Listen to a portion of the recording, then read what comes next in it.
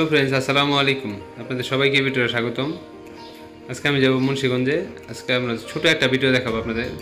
সেটা হচ্ছে আল্লাহর নামের যে ভাস্কর্যটা আছে মুন্সিগঞ্জে, সেই ভাস্কর্যটা দেখাবো। এটা মুন্সিগঞ্জ সদর থেকে দশ পনেরো টাকা ভাড়া নেই মুন্সিগঞ্জ পৌরসভার সামনে।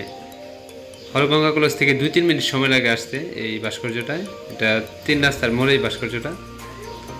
এর ঠিক সামনে ডিসি পার্ক মানে জেলা প্রশাসকের কার্যালয়। সবগুলো একই সাথে জায়গা।